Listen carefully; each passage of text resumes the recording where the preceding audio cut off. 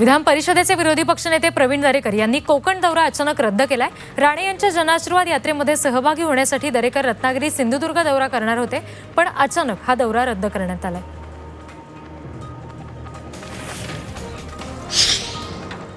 डिवसण्याचा प्रयत्न केला तर आम्ही नक्की प्रत्युत्तर देणार असं शिवसेना आमदार राजन साळवी यांनी म्हटलंय. आमच्या पक्ष नेतृत्वावर टीका केली तर आम्ही आरेला कारेनं उत्तर देऊ असं साळवी यांनी म्हटलंय. राणे यांची यात्रा आजपासून पुन्हा एकदा रत्नागिरीतून सुरू होत असून सध्या कोकणातील राजकीय घडामोडींकडे सगळ्यांचंच लक्ष आहे.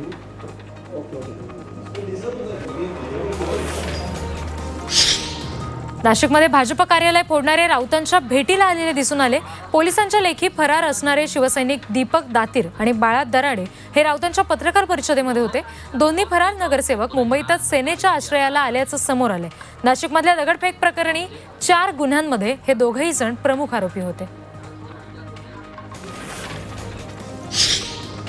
पंतप्रधान नरेंद्र मोदींनी मंत्र्यांना चिखलफेक करायला सांगितलीच नाही. पंतप्रधानांचा संदेश हा मंत्र्यांना समजला नाही अशी टीका खासदार संजय राऊत यांनी केली आहे. शिवसेना भाजपमध्ये वैचारिक बंध नेहमीच होते मात्र बाहेरून आलेल्यांनी माहोल बिघडवला अशी टीका सुद्धा संजय राऊत यांनी केली आहे. काँग्रेसच्या जम्बो कार्यकारिणीवरून आता नाराजी नाट्य रंगते. अनुभवी नेते सचिवपदी डिमोश अस- आल्यामुळे डिमोशन मिळाल्याची भावना व्यक्त होतीये. कमी अनुभव असलेल्यांना सरचिटणीसपदी ठेवल्यानं आता ज्येष्ठ नेते नाराज दिसत आहेत याबाबत प्रदेशाध्यक्ष हे लवकरच दिल्लीत पक्षश्रेष्ठींशी चर्चा करणार आहेत. नाना पटोले बाळासाहेब थोरात गटातल्या अनेकांना यामध्ये वगळण्याची चर्चा सुद्धा रंगतीये.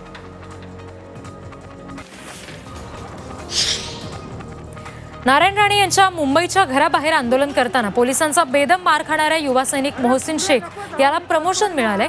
युवा सेनेच्या सहसचिवपदी मोहसिन शेख याची नियुक्ती करण्यात आली.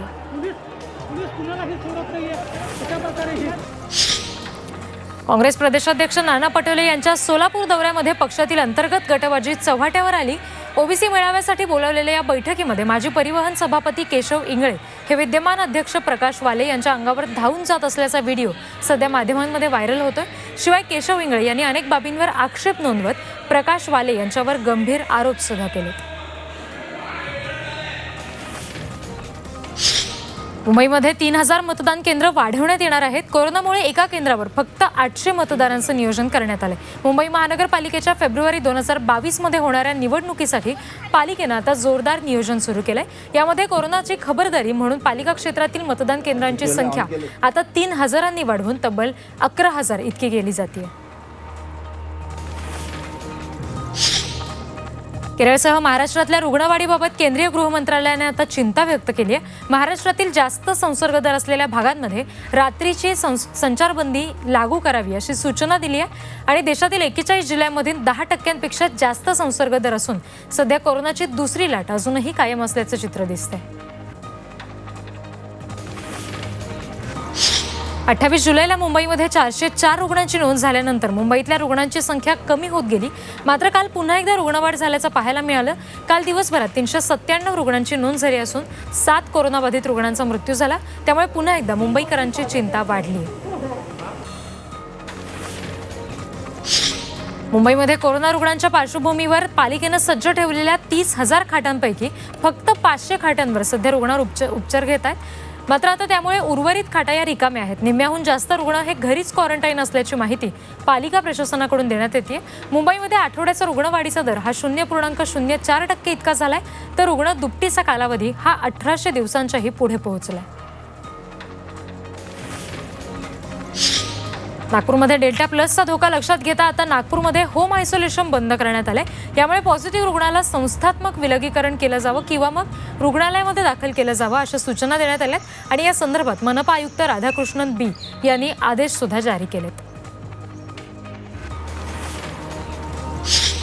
राज्यामध्ये लावण्यात आलेले निर्बंध आणि नियम यांच्यामुळे कोरोना रुग्णसंख्येमध्ये घट दिसून येते यात राज्यात ऑगस्टमध्ये लक्षणीय घट दिसून आली. एक ऑगस्टला राज्यात अठ्याहत्तर हजारापेक्षा जास्त रुग्ण समोर आले तर दहा ऑगस्टला सहासष्ट हजारांपेक्षा जास्त रुग्णांची भर पडली. देशातील निम्म्या प्रौढ लवस- लोकसंख्येला आता पहिला डोस मिळालाय. लसीकरण झालेल्यांची संख्या साठ कोटींच्या वर गेली आहे लसीकरणाला वेग येतोय त्यामुळे दुसरा डोस घेतलेल्यांचं प्रमाण सुद्धा वाढलेलं आहे. याआधी वीस दिवसामध्ये देशात पन्नास कोटी नागरिकांना लस मिळाली आणि आता हा वेग वाढवून अवघ्या एकोणीस दिवसात साठ कोटी नागरिकांचं लसीकरण झालंय. छत्रपतींचा विचार म्हणजे